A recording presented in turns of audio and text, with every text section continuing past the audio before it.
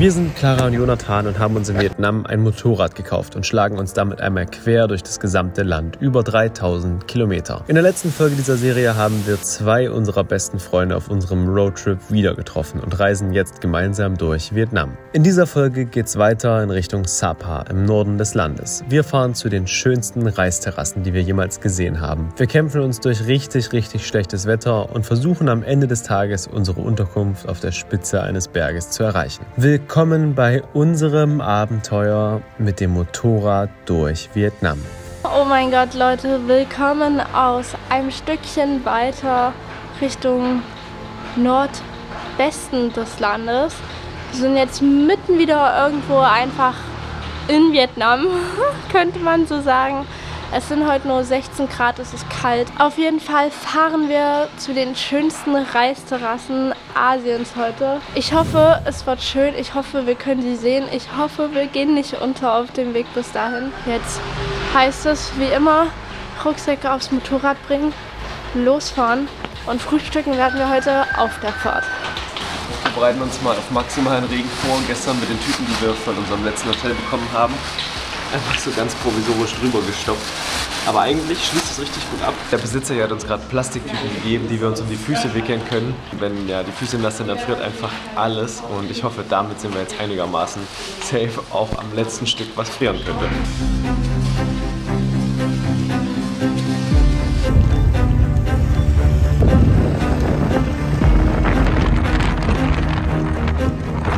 Wir sind ja gerade mal vor fünf Minuten losgefahren oder so. Gestern kamen wir im Dunkeln an, das heißt, wir haben nicht gesehen, wo wir hier sind. Es sieht einfach schon so schön aus. Es ist so richtig, richtig kleine Highlands und ja, hier geht es auch langsam los mit Kaffee- und Teeanbau, wusste ich gar nicht. Reisfelder sind auch quasi überall. Es ist jetzt schon so schön um uns drumherum. Und es wird noch viel, viel schöner, je weiter wir fahren. Ich bin richtig aufgeregt und das Wetter irgendwie stört gar nicht so doll, weil man die ganze Zeit was zu gucken hat. Und der Nebel dem Ganzen auch so eine ja, moody Atmosphäre gibt.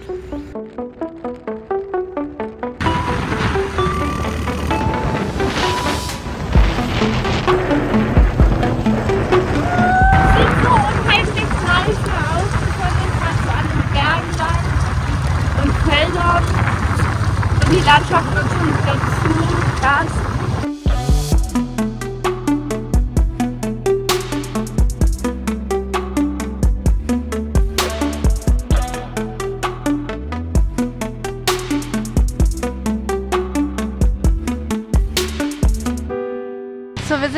Weile gefahren. Ich möchte jetzt unbedingt mal Drohne fliegen. Ihr habt ja gesagt, dass ihr die ganzen Drohnenaufnahmen richtig feiert. Deswegen wollen wir davon auf jeden Fall mehr mit einbringen und euch natürlich auch die Landschaft hier zeigen. Die ist so krass jetzt schon. Der Nebel macht sie auch ein bisschen schöner, aber so im Hintergrund sieht man auch, wie es sich ein bisschen aufklärt, was natürlich auch mega ist, weil dann kommen wir heute Abend an und es ist eben nicht bewölkt und wir können die volle Sicht auf die Reisterrassen genießen. Ich würde sagen, wir sind jetzt eine Stunde gefahren und es ja. macht eigentlich schon wieder richtig, richtig Spaß. Mit Marco und Lara fahren wir auf jeden Fall ein bisschen schneller, als wir eigentlich fahren. Das ist jetzt so unser ab 17 Uhr und wir wissen, dass es eigentlich gleich dunkel werden würde, Tempo. Aber das ist gar nicht schlimm, weil es ist immer noch angenehm, es macht total Spaß und ja, wir kommen einfach mal ein bisschen schneller voran. Ja, naja, wartet auf die Thronaufnahmen. Willkommen zurück zu einem neuen Vlog, Leute. Heute fahren wir. Und Jonathan. Genau. Ich bin klar, ich bin Jonathan. ich bin Clara, ich bin Jonathan. Wir sind schon ziemlich lange unterwegs und sprechen auch schon Vietnamesisch. Hanja. Ciao. Come on. Kaffee. Und jetzt ähm, seht ihr ein paar sicke B-Roll-Shots, Drohnen-Shots von dieser Location. Let's go. Let's go. Roll the clip. Enjoy.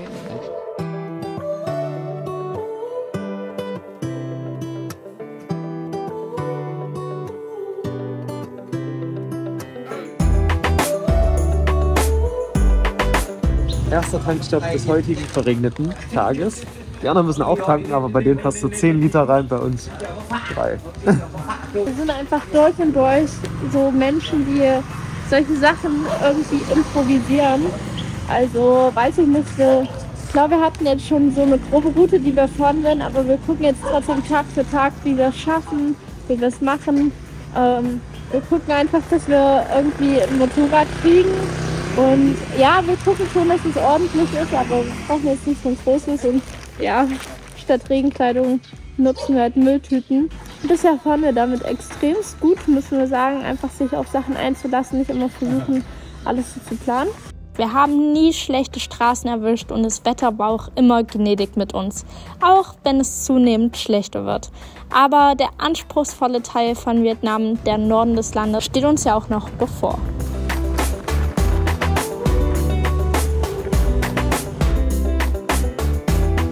Der Suche nach Banh Mi in vegetarisch. Die verkaufen es alle hier mit Pâté. Ich glaube, das ist Gehirn vom Schwein. Das wollen wir auf jeden Fall nicht. Wir suchen Ei oder Tofu. Es ist jetzt um 11 Frühstückszeit. Wir haben schon so 70 Kilometer hinter uns, noch so 90 Kilometer vor uns. Jetzt gibt es erstmal Banh Mi.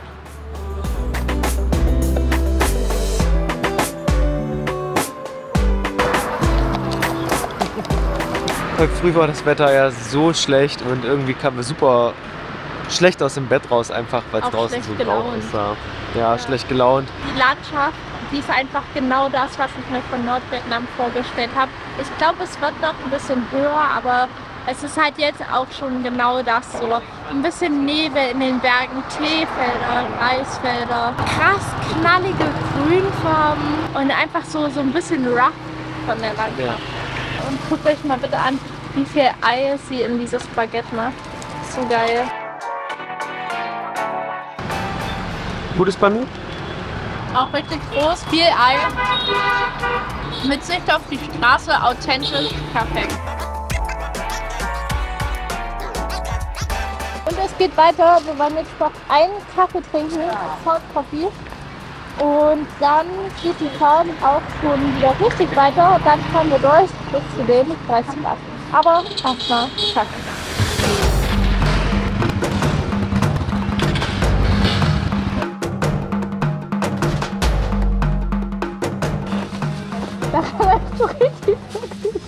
Das hier ist ja wieder so ein richtiges asiatisches Café, so komplett verspielt und kunterbunt. Und ja, man merkt einfach richtig, ob sich sowas an Europäer richtet oder westliche Touristen versus lokale Touristen.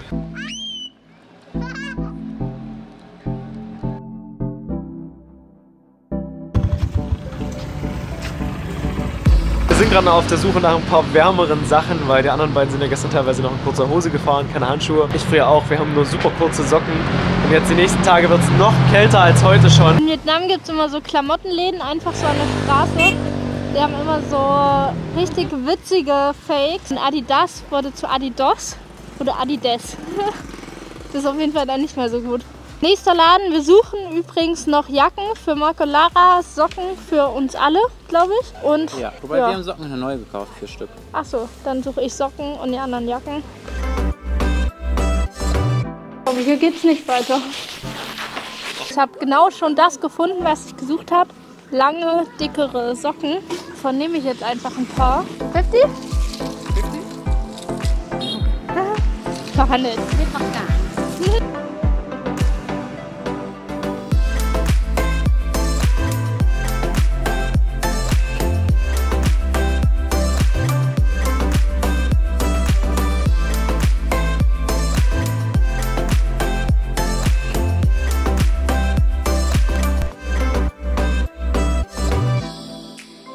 Unser Freund, der Nieselregen, ist wieder da. Hört ihr ihn auf dem Mikrofon?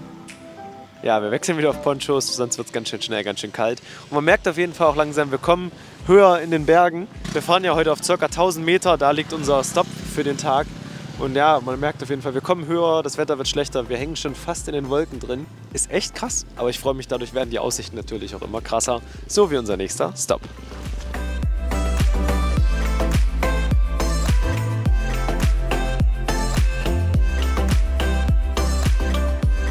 Mein Gott, was war das gerade für eine wilde Fahrt? Das ist so krass, wir sind durch die Wolken und danach waren wir eine Weile in so einem Plateau drin, wo man genauso diese Wolkenkarte gesehen hat und die Reisfelder. Und dann sind wir jetzt wieder ein bisschen höher in die Wolken rein. Jetzt in dem Dorf hier geht auf jeden Fall was ab heute und wir werden hier massiv angeschaut. Also das ist, glaube ich, so das Krasseste bisher. Ich glaube, wir wurden halt noch nie so wenn man ja. selten. Ich weiß auch, wie viele Leute hierher kommen. Jetzt geht's erstmal snacken.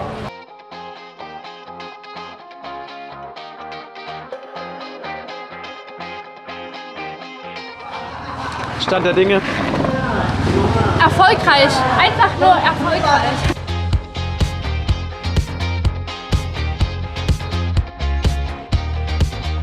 Das Essen war richtig, richtig lecker. Hat 4 Euro für uns alle zusammen gekostet. Und wir fahren jetzt weiter. Bei der Kälte auf dem Berg und über 100% Luftfeuchtigkeit haben wir so unfassbar gefroren. Da war ein Moment dann einfach umso schöner.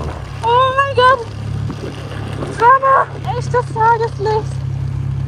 Oh, warum still? Oh, wir fahren wieder rein. Wir sind wieder in der Sonne. Wir sind so weit oben. Wir sehen die Sonne.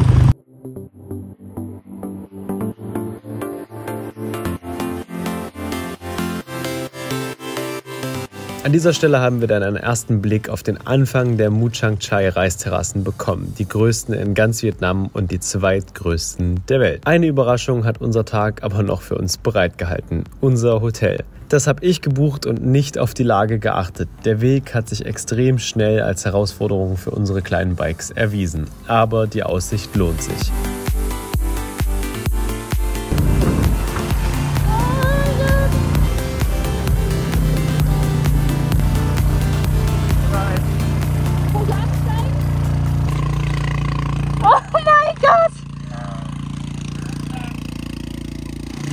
Ist einfach so steil, dass wir absteigen müssen, Lara und ich, weil wir ansonsten hier nicht hochkommen. Ich glaube, Marc steht so schon. Das ist einfach so abnormal und so wunderschön. Wir sind die Loser, wir müssen laufen. Oh ja. Das ist richtig, richtig steil. Und hier brennt, und hier brennt einfach mal random in Hang. Also die Aussicht. Oh mein Gott.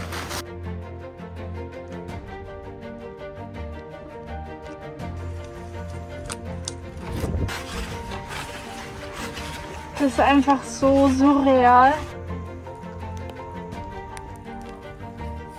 Hinter mir ist so eine schöne Aussicht. Wir blenden euch das kurz ein. Es ist der Wahnsinn, wo wir hier gerade sind. Hier ist gleich auch unser Hotel mit einer ähnlichen Aussicht. Das ist so unfassbar krass, wo wir gerade irgendwie dieses Abenteuer erleben. Bin komplett geflasht. Die tragen irgendwie die Locals alles hoch, so Sträucher. Ich frage mich, haben die keine Sträucher da oben? Also was genau tragen die da hoch? Und die sind alle total fasziniert davon, dass wir hier sind. Oh mein Gott.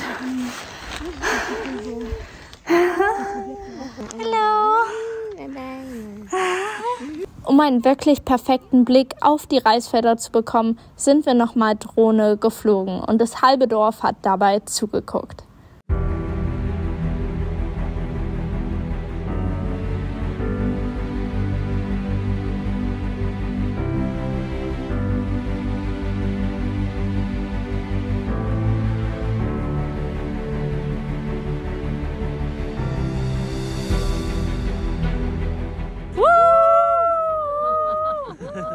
Weiß nicht, was Jonathan da gebucht hat. Ich habe extrem Schiss, hier morgen wieder runterzufahren. Ich laufe jetzt schon wieder, weil wir in Leerlauf geschalten haben.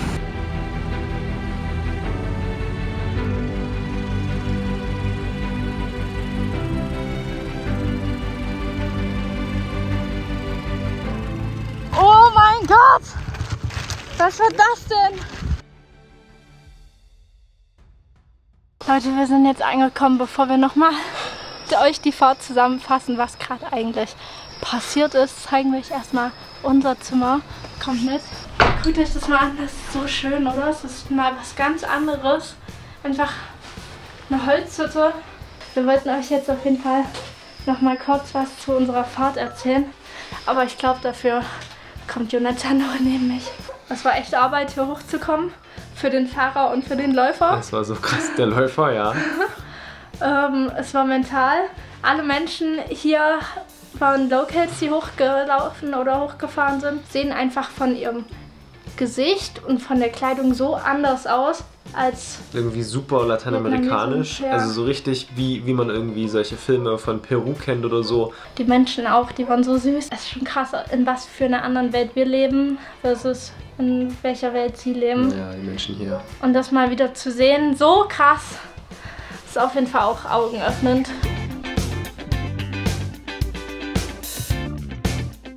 Am nächsten Morgen sind wir nochmal Drohne geflogen, dann zum Glück bei besserem Wetter. Die Aufnahmen seht ihr jetzt. Wir sind an diesem Tag durch extrem schöne Landschaften gefahren, hatten viele emotionale Momente und auch einige Tiefpunkte durch das schlechte Wetter. Aber umso krasser war der Moment, als auf einmal wieder Sonnenlicht auf unsere Haut geschienen hat und wir dann vor den beeindruckendsten Reisterrassen unseres gesamten Lebens standen. Vielen Dank, dass du wieder dabei warst. Wir würden uns riesig über ein Like und einen Kommentar freuen. Das hilft uns ungemein weiter. Bis zum nächsten Mal. Ciao.